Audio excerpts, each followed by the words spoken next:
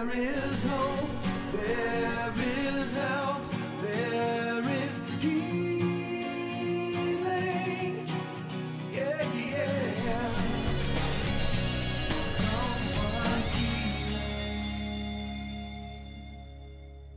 Well, it's Rhema Praise time again, and I'm so glad you tuned in to be with us today.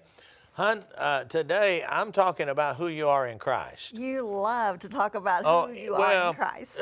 in Christ are the in Him scriptures. Uh, it, you know, it's the reality of what, who we are in Yes. Christ Jesus. It says, it, it says there, we are a new person, or one translation, creation, another one says creature. Yeah. But we are, I like to say, we're a new person in Christ. Old things have passed away. All things have become new. That's right. So, and it's important to know who you are in Christ, know your position in Christ, and then because if you know your position and know who you are in Christ, then you have benefits. You know, uh, working for a company, or, or we have about 200 have employees, employees, that work here at Kentucky Ministries and, and Rhema. Rhema Bible College and Rhema Bible uh, Church. Bible Church. Yes. Uh, now, because they're employed here, that's who they are, Mm-hmm. they have some privileges. yes. Because of who we are in Christ, we have privileges, and it talks to us about them right here in, in, what, in what we call the Holy Bible. But you know what, honey? We have to take advantage of those privileges. Oh, yeah. They can be there, but if we don't Well- take advantage well, of I- that's where I was going. All right. We give every employee a, a employee manual. that's right. And in it, it tells them everything. Mm-hmm. Now, it tells them that after they work a certain amount of time, they've got vacation days. Yes. I'm not going to go down there and tell them, you got to take vacation. You can't work That tomorrow. you is got for sure. No, hey, that it, it I'm, I'm giving it to them. And if they don't take advantage of it, That's right. that's their problem. Absolutely. And that's what God, Christ did for us. He give this all to us. He told us what is ours, and He told us the benefits. If we don't take advantage of them, it's our fault, That's not His. So why don't we go right now where I'm talking about who you are in Christ?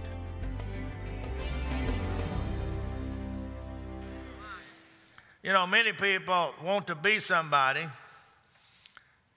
and uh, they talk about wanting to be, should be, could be, or might be, or going to be. You ever met somebody like that? They're always talking about what they should do, what they going what they want to do. You know, uh, we need to do it. You know, we need to understand that when we begin to get a hold of who we are in Christ, it will change our whole life. We've been redeemed by Christ. You know, now I realize we have others here from, from other countries, but the majority of us here identify with as being an American citizen. Right? How many identify as American citizen? You see, that you are saying, I am a part of the United States of America. Hello? You know, it, it's important for us to understand and say who we are in Christ. If you if you are in another country and you they asked you to identify your nationality, you identify as a US citizen. Is that correct? Or if you're from another country, you identify with that country. Well, we need to identify with in Christ. You know, one of the uh,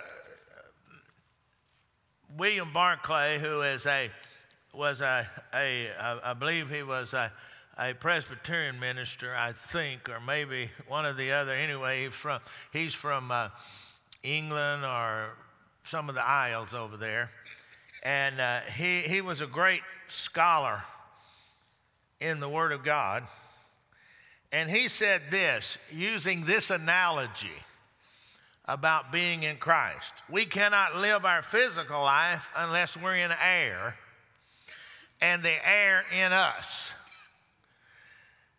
And we cannot live for Christ, in Christ, unless we are in Christ and Christ is in us. We cannot live the life of God. Unless we're in Christ and Christ in us, we cannot live the life of God. Now, God sees you not who you are, but He sees you who you are in Christ. He looks at you through being redeemed by the blood of the Lord Jesus Christ. That's what we just said. Tell them I have been redeemed. Now, I didn't know they was going to sing that, but that's a good song to go with what I'm speaking on. you know, Christ took the punishment that we should have taken. Christ was the perfect sacrifice for all of the sins, and his blood represented that sin sacrifice. Now, let me give you a little bit. Most of you know this, but let me remind you of it. And if you don't, then, then you, you can learn it. In the Old Testament, they would kill a lamb that was spotless. I mean, it had no blemishes, it was perfect. And then they would take that blood and they would rub it on the head of a goat and they would turn it loose into the wilderness. It was called the scapegoat. And then they would take that lamb and they would sacrifice it to the Lord for a sin offering. Their sins were covered for one year. They had to do that every year. But Jesus Christ came and the Lamb of God that became the one and only supreme sacrifice when his blood was shed on Calvary. And sinners plunged beneath that flood lose all their guilty stain. It's not, they had, their, their sins were covered. Our sins, we are forgiven. See, in other words, God looks, is, looks at our humanity through Christ burial, death, and resur- death, burial, and resurrection, and ascension and seating. Galatians 2:20 says we've been crucified with Christ. Romans 6, 4 and 5 says we're buried with Christ in death. Ephesians 2 6 tells us that we arose with Christ at his resurrection. Ephesians uh, 2 6 also tells us we are seated with Christ in heavenly places. In God's mind and in God's eyes, we, we were all there with Christ during his redemptive work. His death became our death. His burial became our burial. His resurrection became our resurrection. And that is one of the reasons that we have water baptism is to symbolize dying and being raised again a new person in Christ Jesus. It, it's, a, it's an outward symbol of something that's already taken place on the inside in the inner man. Help me understand that. Hello? Now, you know, his ascension was our ascension. His seat is our seat. His victory is our victory. His life is our life. His blessings are our blessings.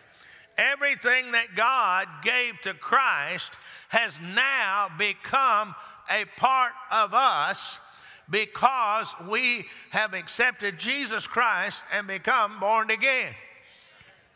If you happen to be here today and you haven't accepted Christ, you can do that today and stand in the same place that we stand.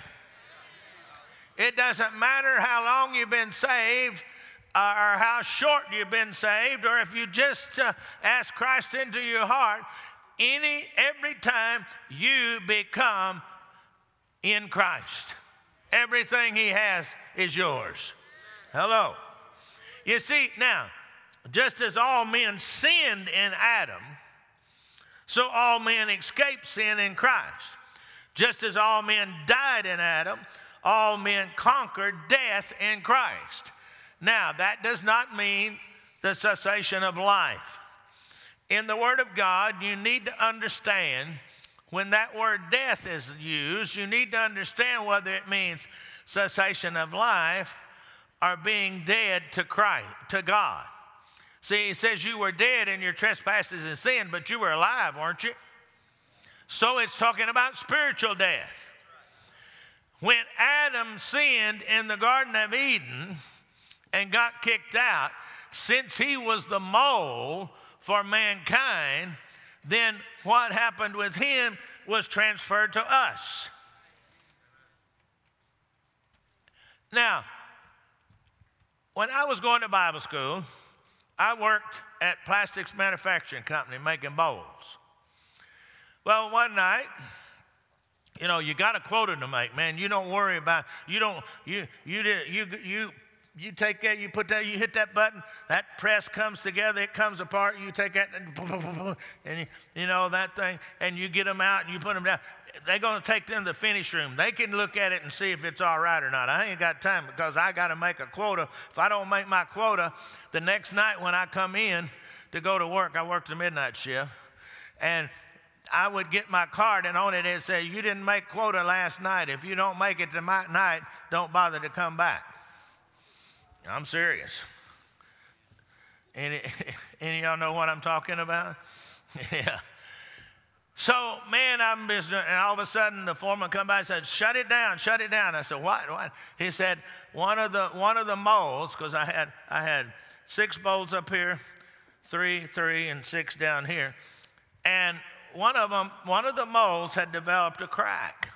So every bowl that was made in that mold had a, had a, a deal in the side of the bowl, had that image of that crack. That, see, we are made in the image of Adam, the man, mankind, all mankind we're talking about. So, therefore, what happened to Adam was transferred to all of us. But through Christ, death, burial, and resurrection on the cross, we have been redeemed. It's like, it's like they, change, they changed the mold, so now I got a perfect bowl. See, Jesus became the new mold that our lives is molded after. Therefore, now we're in Christ, and God sees us not as sinners, He sees us as in Christ, completely pure and whole and healthy, standing before Him. Amen. In Christ, everything that Adam had and lost. See, he lost it. Remember, he got kicked out of the garden? Remember that? If you don't know, go read Genesis. And then, then go read in Romans about the second man, Adam, he's called. I don't have time to go the whole, teach the whole thing. I just want to get you thinking about who you are in Christ this morning. And so through, through Christ, everything that Adam lost, remember, he, he, was, he, he was everything. He, he, he controlled the garden. He had man who was in control, you know, but he didn't even have to work. But because he messed up, God said, You're going to work. Go read it. See, being born again, we are thrust into the new spiritual mold. mold. And therefore, our existence with Christ is who we become. Now, unless you know who you are in Christ, you can't, you can't reap the benefits. Hello? You know, every one of us have a family name. Every one of us has either been has been you know whatever our parents had passes to us i mean you you look at at you know uh, everybody said man eh, the older you get the more you look and act and sound like your dad anybody out there say that i've had several of you tell me that why? Because I'm of him. Right? Cameron, Craig's oldest, and his dad, they look and act so much alike it's unreal. You see, we're in Christ. Now we need to become and do and act and look and act and receive everything that belongs to us because of who we are in Christ. You see, when Dad left in 2003, he left me in charge. And so I'm to take care of mom till she goes. And when she goes, he, had, I had this, it was all written out. He had it written out instruction with the attorney and all that. Then everything that was left after I took care of her, when, when she went in 2007, it was my responsibility to transfer whatever, the, whatever they had that was left Half of it went to me and half of it went to my sister because there's only two of us. He said, I already, I, took, I helped the grandkids and the great grandkids, and now this, what's left is y'all's. So, why? Because of who I am. I'm going to take it. Whatever Christ has is yours because you're in Christ. You see, you need to understand that you live in two worlds at the same time the spiritual world and the natural world. And in the natural world, there are certain things that belong to you because of who you are American citizen, a, a member of your family. And because of who you are in Christ, there are certain things that belong to you because of that. Amen? Hallelujah. Glory to God. Now, if you don't know who you are in Christ, you can't, you can't take advantage of the benefits. Right? Anybody ever heard of a, of a famous preacher by the name of Charles Spurgeon? He, he lived many years ago in England. One day, Spurgeon was visiting one of the sick elderly members. She lived in a one room shack. It was so cold in there that she had to stay in bed covered up with blankets up to her neck to even try to stay warm. She was dying of malnutrition. Spurgeon glanced around the room and he noticed a document on a frame the, on the wall. And he asked the woman about it, and she told him it was an appreciation letter from the English noblewoman that she had worked for for nearly half a century. The aged woman could not read, so Spurgeon asked if he could take the letter to, the, to a lawyer whose name was on the document to have him look at the letter. When he took it to the lawyer, the lawyer said he had been looking for the document. It was part of the last will and testament of the lady the woman had worked for. She had bequeathed to the woman a beautiful house and a monthly allowance. This sickly, poverty struck woman could have been living in luxury if she had known what the document said. It's the same with us. We got to know what the document says about being in Christ. When we get a hold of what the document, the Word of God says about being in Christ, we don't no longer have to live in, in poverty, live in want, live in wishing. See, you know, I want you to realize that our daily living, the devil will try to challenge you and tell you, nah, that doesn't belong to you. That was just for the Jews, the Israelites. But wait, we got to come back to Galatians 3. And it said, if, if you be Christ, then you're part of the Abraham seed. Doesn't it? It? Then it talks about us being, we might call it this way, and in the Word of God, we'll say it here in a minute. We've been adopted into the family of God. Now, if you do a little study, you'll find out that an adopted son has as much right as a natural son. Study that. Has as much right to all the inheritance. Hey, we have a right to all of the inheritance that God provided for us through Christ's death, burial, and resurrection. Now, the enemy will bring up your past. He'll bring up everything that he can think of and some things he can't think of to tell you that this can't happen for you, that you're unworthy, that you're an unworthy creature. God never created any unworthy creatures or creation. You know, sometimes we need to realize that our circumstances do not reflect who we are or what we have in Christ. We can overcome those. But we have to choose to believe what the Word of God says. It says, and I, we're going to go back to it now. I'm going to reiterate some of this. We are crucified with Christ. Galatians 2:20. If you don't have it there, turn to it. Mark it in your Bible. I have been crucified with Christ. It is no longer I live, but Christ lives in me. And the life which I now live in the flesh, I live by faith in the Son of God, who loved me and gave himself for me. Some people are oh, I need to die to sin. What do you need to die to sin for?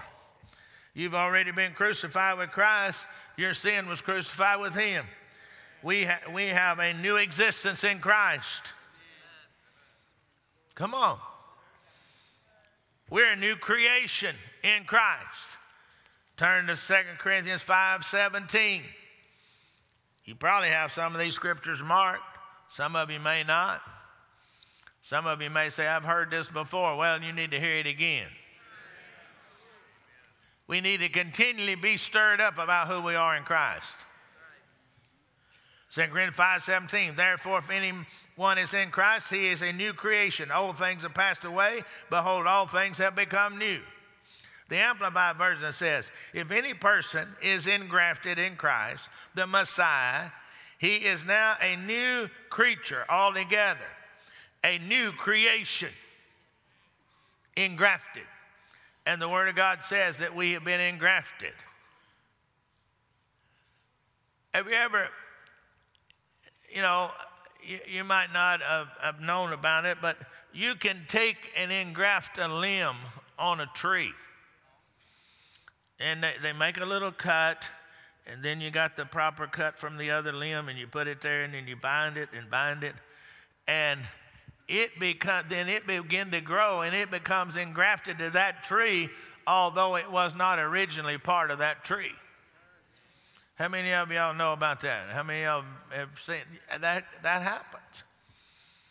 See, I want you to notice as we read this 2 Corinthians 5.17 in both these versions, New King James Amplified, it doesn't say we should be, want to be, or trying to be a new creation in Christ. It says we are. I want you to get a hold of who you are in Christ so you can take it, get all the benefits have, that belong to you. And actually, we got a fantastic uh, offer. That's this is right. the last week for it. It's the last week and for it, it. it is it is my book because of G or no book. I got a book on it, but these are the CDs. Three CDs. Three CDs because of Jesus. Yes. And then Dad's book, knowing what belongs to you. Very good mini book. And then his CD set, two of them, in Him, talking about in Christ. What we have in Christ, who we are in Christ, That's what we can do in Christ.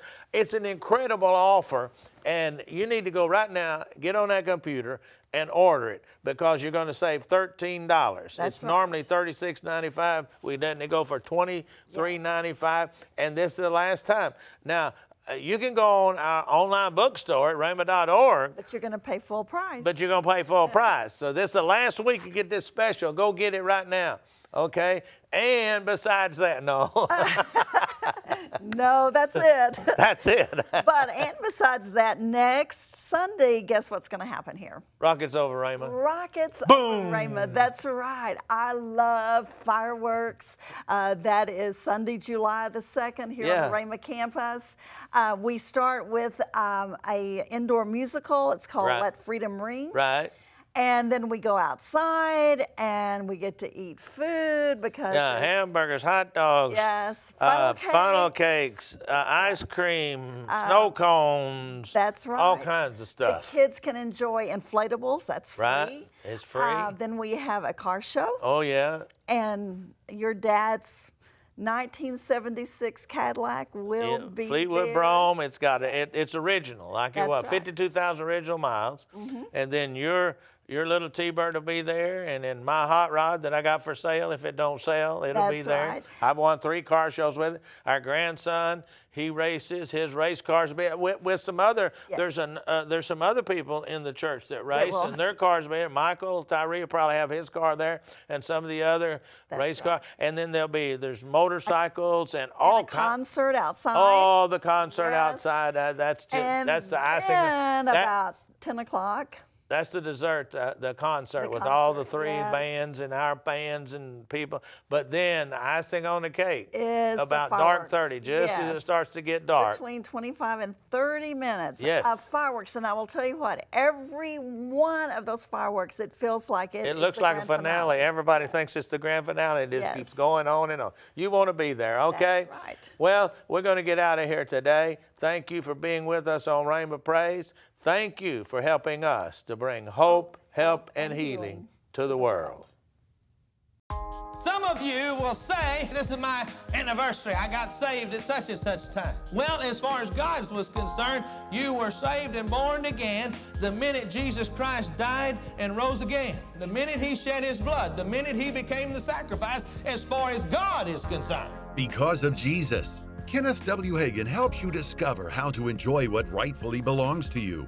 Plus, the mini book Knowing What Belongs to Us by Kenneth E. Hagin, explaining what is ours through the redemptive work of Jesus. There are close to 130 of the expressions throughout the epistles which do tell you something that you have because you're in Him, in whom, and in Christ.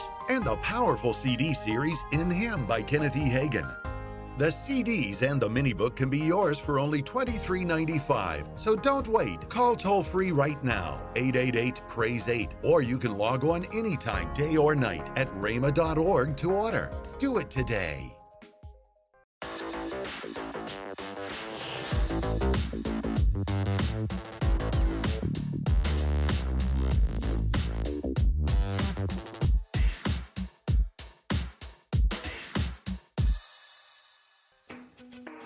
Thank you for watching Rhema Praise with Ken and Lynette Hagin.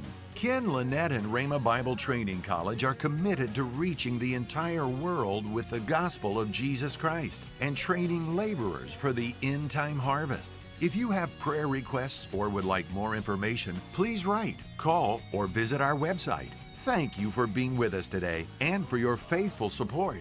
And remember, there is hope, help, and healing for a hurting world.